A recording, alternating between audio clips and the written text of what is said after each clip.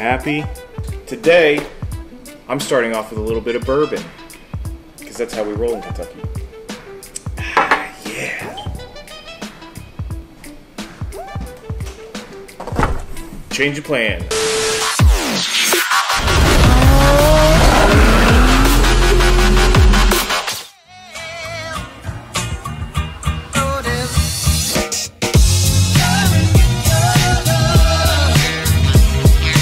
Good morning, high rollers. I think I just got something cool in the mail. Mail, motherfucker. I'm not 100% sure, but the FedEx guy just dropped something off. If it's what I think it is, we might be able to do a quick install today, and I'll bring you guys along.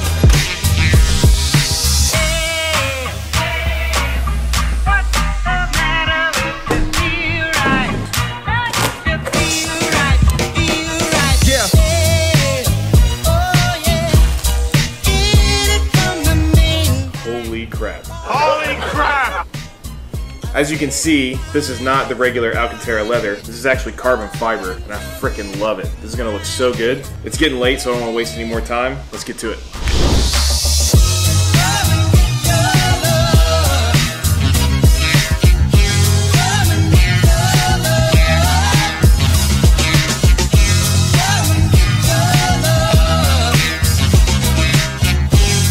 Alright, so we're ready to actually take this thing off now. Step one, Cut a hole in a box. disconnect the negative battery terminal. You do not want to take any chances setting off the airbag. Next, there's two little holes on the side, and there's a spring in there that we need to push in to detach the airbag.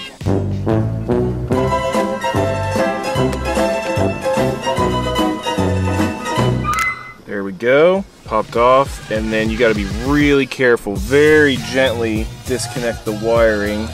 Hey, hey, wait, wait, Riggs, wait! What? How can you be so sure? Oh, it's just a hunch.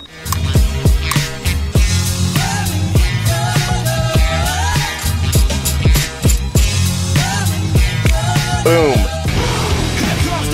All right, so the last step is to transfer the buttons and the paddle shifters over to the new steering wheel.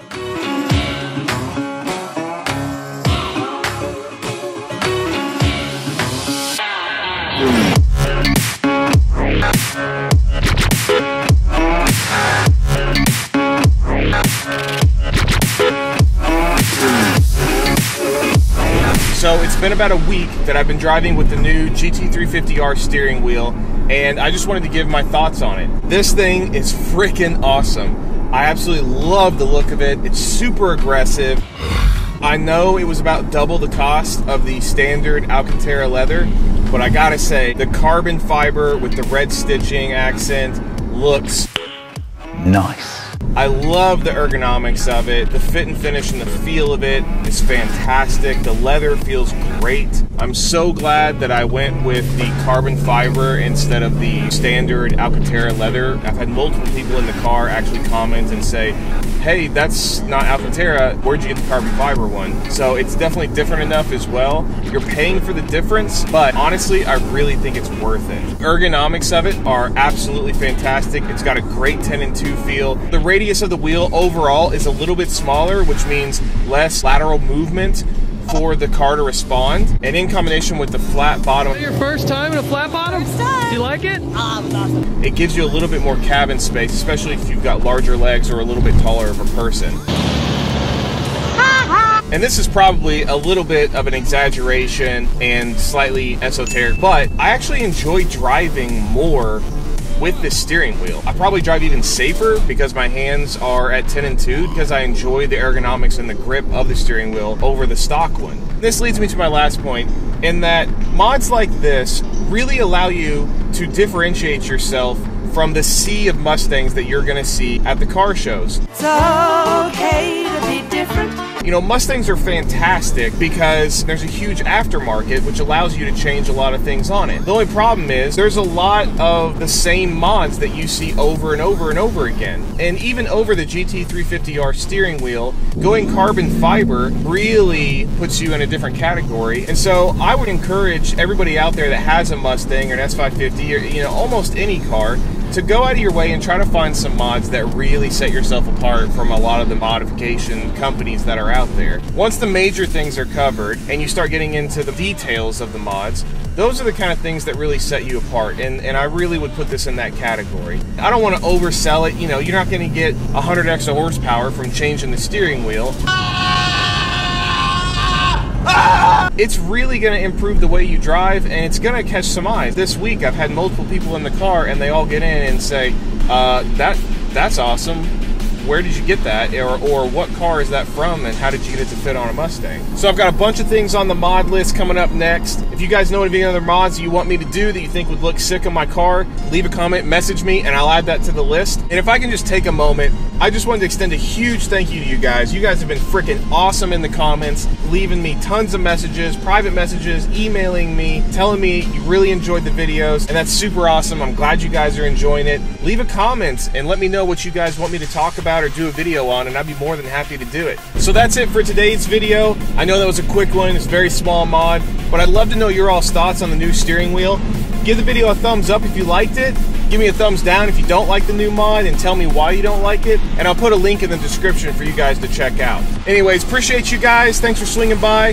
Take it easy, drive safe, and I'll see you in the next one.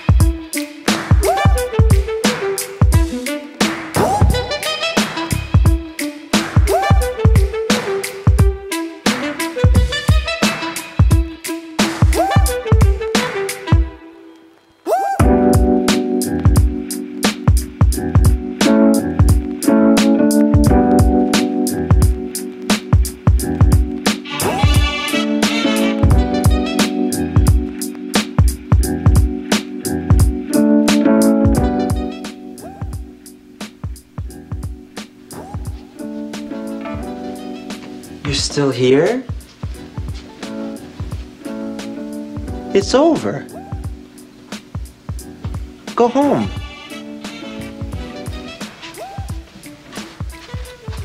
Go.